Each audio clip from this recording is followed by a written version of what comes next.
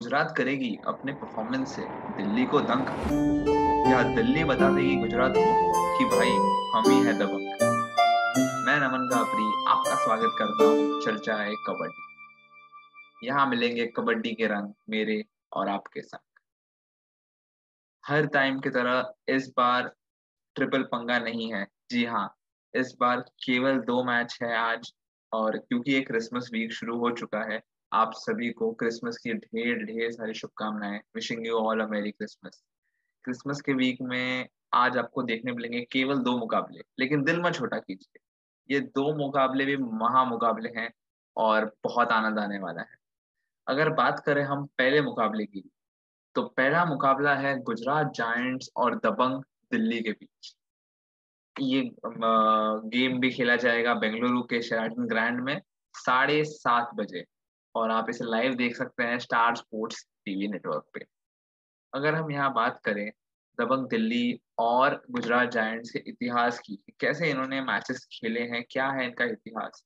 तो इसमें से एक टीम जीती है दो बार, जबकि तीन बार जीती है दूसरी टीम और एक बार हुआ है ड्रॉ तो जैसे आप देख सकते हैं, काफ़ी कांटे की टक्कर रही है दोनों टीम्स के बीच में। किसी ने दूसरे को ज़्यादा आगे निकलने दिया नहीं है। जैसे कोई निकलता है, पैर खींच के पीछे लाते हैं और फिर निकलती है दूसरी टीम आगे। तो आज भी आप बिल्कुल ये एक्सपेक्ट कर सकते हैं कि एक महा मुकाबला एक कांटे की टक्कर देखने मिल सकती है। अगर मैं बात करूँ दबंग दिल्ली की तो दबंग दिल्ली के जो खिलाड़ी हैं, जिस पे आपकी पहली नज़रें होनी चाहिए आज के मैच के लिए, पहले तो वो होंगे नवीन कुमार, द रेडर नवीन कुमार। ज़बरदस्त रेडिंग है उनकी, जो उनका पिछला मैच था यू मुंबई के खिलाफ, उसमें नवीन कुमार ने बटोरे थे 12 रेड पॉइंट्स और चार बोनस पॉइंट्स। सत्रह पॉइंट्स टोटल कमाए थे और एक पॉइंट टैकल में भी। तो आप देख सकते हैं, नवीन का ये ऑल राउंड शो था ऑल राउंड परफॉर्मेंस था, जो उन्हें बनाता है आज के लिए एक बहुत महत्वपूर्ण खिलाड़ी। अगर इसके बारे में बात करो तो जोगिंदर सिंह नरवाल, ज़बरदस्त डिफेंडर है ये। चार टैकल पॉइंट्स ये लाए हैं और चार बहुत ही महत्वपूर्ण पॉइंट्स जिसके चलते उन्होंने मात दी, शिकस्त दी यू मुंबा को, जो अपना पहला मैच काफ़ी बड़े अंतर से जीत के आ रहे थे। तो आप बिल्कुल कम नहीं आ सकते।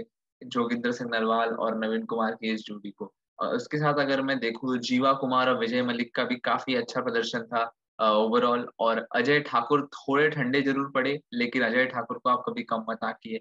वो खिलाड़ी को केवल एक गेम चाहिए फॉर्म में आने के लिए, और वो बिल्कुल आ सकते हैं आज शाम। अगर अब हम बात करें गुजरात जायंट्स की तो गुजरात जायंट्स की जो टीम है, यहाँ पर है राकेश नरवाल। जो आपको मिलेंगे रेडिंग डिपार्टमेंट में, उनके साथ है महेंद्र गणेश राजपूत और डिफेंस में एक बहुत ही ज़बरदस्त खिलाड़ी रविंदर पहल।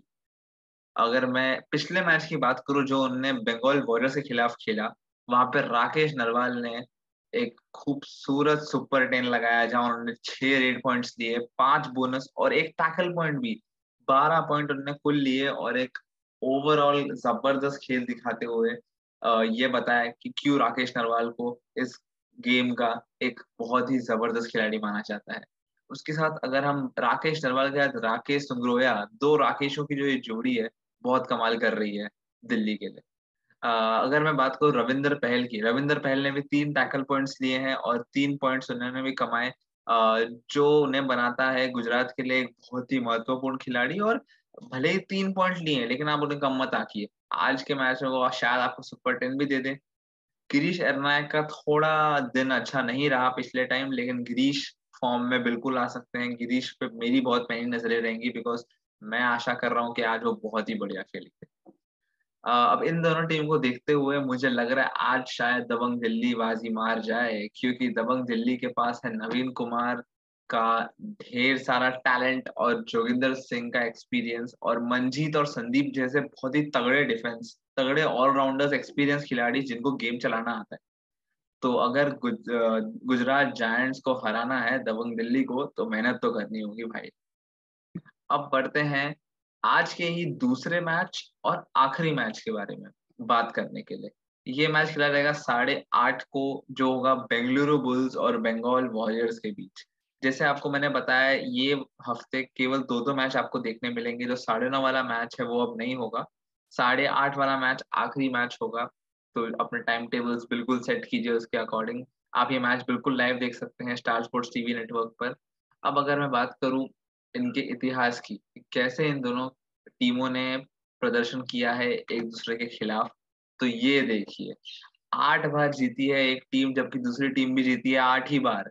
पचास परसेंट का विनिंग परसेंटेज दोनों टीम्स के लिए। ये बताता है कि कितनी कांटे की टक्कर रही है इन दोनों टीम्स की। किसी ने दूसरे को आगे निकलने नहीं दिया। बिल्कुल बराबरी पे खड़े हैं दोनों।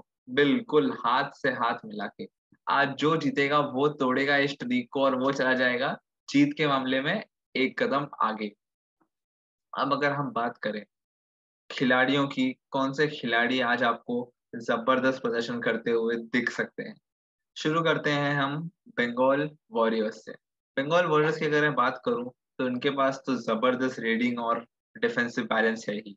बस बंगाल वही एक उम्मीद करेगी कि दोनों जो डिपार्टमेंट है वो एक साथ जब अच्छी तरह काम करे और एक ऐसा माहौल बनाए कि जीत उनके कब्जे में आ जाए।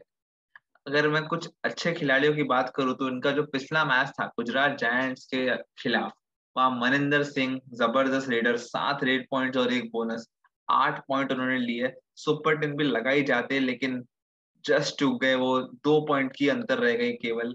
उसके साथ उनके जो फॉरेन खिलाड़ी है ईरानियन इस्माइल नबीबाक्ष उन्होंने तीन रेड पॉइंट लिए, एक टैकल और टोटल चार पॉइंट तो ये बहुत अच्छा बढ़िया साथ दिया है मनिंदर का। टैकल पॉइंट भी लिया है मतलब डिफेंसिव ड्यूटीज़ भी उतनी अच्छी निभाई है उनने। फिर आते हैं आकाश पिकल मुंडे आकाश ने भी चार रेड पॉइंट्स लिए हैं। तो आप आकाश को भी कम मत आकी यंग ज़रूर है, नौजवान ज़रूर है, उतना तजुर्बा नहीं है, लेकिन टैलेंट, जोश और जुनून, इसकी बिल्कुल कमी नहीं है इस टीम में। अगर हम यहाँ बात करें रिंकू, नरवाल, सुकेश हेगड़े, इनका दिन उतना अच्छा नहीं रहा, उतने पॉइंट से नहीं स्कोर कर पाए, लेकिन ये उन्हें बिल्कुल डिफाइन नहीं करता। इनको केवल एक गेम चाहिए, और आपको सुकेश हेगड़े, शायद महेंद्र सिंह से भी ऊपर दिखे लिस्ट में, एक ज़बरदस्त सुपर टेन के साथ। सुकेश हेगड़े पे बहुत उम्मीदें लगाई बैठी है ये टीम और वो बिल्कुल ये आशा कर रहे होंगे कि जल्द ही जल्द वो पूरा उनका उन पे जो उम्मीदें हैं उसको पे बैक करे। ये हो गई बात अब हम आ, आते हैं बेंगलुरु बुल्स की तरफ़। बेंगलुरु बुल्स की अगर हम बात करें तो इनका जो आखिरी मैच था तमिल थलाइवास के खिलाफ इसमें पवन कुमार पवन कुमार सहरावत ज़बरदस्त रेडर खूबसूरत खिलाड़ी नौ रेड पॉइंट्स उन्होंने लिए और ये भी अपने सुपर टेन से हल्के से चूक गए, लेकिन आज नहीं चूकेंगे। आज अगर पवन कुमार अपने जज्बे में, अपने फॉर्म में आ गए ना तो आज वो दिखा देंगे सबको कि क्यों वो है एक बढ़िया खिलाड़ी और बंगाल वॉरियर्स के डिफेंस के लिए क्यों वो परेशानियों का सबक बन सकते हैं। उसके साथ चंद्रन रंजीत ने बहुत ही अच्छा साझेदारी निभाई है उनके साथ। अगर आप देखें, छह रेड पॉइंट्स एक बोनस पॉइंट सात पॉइंट चंद्रन रंजीत के भी है। तो अगर आप देखें सोलह पॉइंट तो केवल इन दोनों खिलाड़ियों ने अपने रेडिंग डिपार्टमेंट में संभाले। अगर हम बात करें डिफेंस की तो आप मयूर कदम महेंद्र जैसे खिलाड़ी और अमन जैसे खिलाड़ियों ने जो नौजवान और कम तजुर्बे वाले हैं लेकिन फिर भी उन्होंने अपने जोश जुनून के चलते हुए एक अच्छा प्रदर्शन दिया है। आ, लेकिन बिल्कुल ये होप कर रही होगी बेंगलुरु बुल्स की वो अपना प्रदर्शन को एक एक कदम ऊपर लेके जाते हुए ये बताएँ कि क्यों उन्हें एक बहुत बड़ा तगड़ा टीम माना जाता है इस टूर्नामेंट में क्यों एक बहुत ही अच्छे कंटेंडर है वो इस सीज़न के विजेता बनने के लिए। तो ये थे हमारे आज के दो मैच आ, बहुत जल्दी हम मिलेंगे आपसे कल ही जब हम प्रीव्यू करेंगे कल के दो मैचों को और आपको ये बताएँगे कि कौन है वो खिलाड़ी जिस पर आप बिल्कुल दांव लगा सकते हैं और कौन है वो प्लेयर्स जिस पे आपको एक पैनी नज़रें रखनी चाहिए कि वो कर सकते हैं कमाल। तब तक के लिए अपना ख्याल रखिए। जाते जाते ये वीडियो को लाइक ज़रूर कर दीजिए शेयर कर दीजिए और कमेंट करके हमको ये बताइए कि आपको क्या लगता है, आज इन दोनों टीम में से कौन सी टीम जीतेगी और कौन होगा वो एक खिलाड़ी जो बनेगा उनके जीत का मूल सूत्र। कमेंट करके बिल्कुल हमें बताइए। तब तक के लिए मैं आपसे लेता हूँ विदा। आप देख रहे थे लीग इलेवन पे चर्चाए कबड्डी। मैं हूँ आपका होस्ट नमन कापरी। जल्दी मिलूँगा आपसे। धन्यवाद।